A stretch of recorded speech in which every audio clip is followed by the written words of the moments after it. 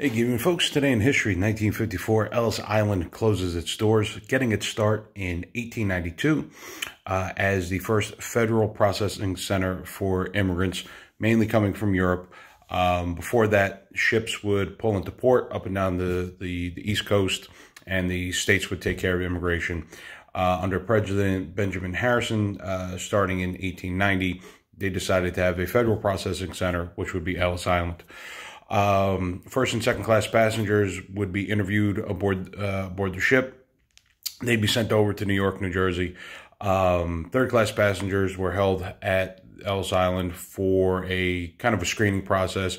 Uh, about 98% of uh, immigrants that came over from Ellis Island were, uh, hello dear, were uh, allowed in. About 2% were sent back. Um, over the years, it changed. It changed. First off, changed size. It went from a 3.3 acre island to about 27 acres using backfill and landfill. Um, with uh, after World War II, some changes in our immigration policies where people could be interviewed uh, in their home country before coming over.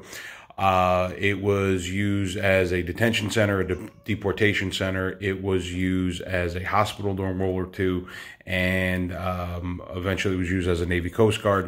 1954, it shuts down. Uh, the last person to leave was a uh, Norwegian seaman. seaman.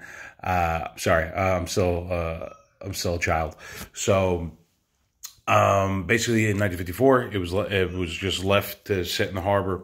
But in 1984, there had been a petition to restore it back to uh, its original glory. It was a huge uh, undertaking. About 160 million dollars was uh, set aside for the renovations. And 1990, the Ellis Island Museum was established, and uh, about two million people every year pass through uh, to take a look at that. And I myself was one of those my junior year of high school.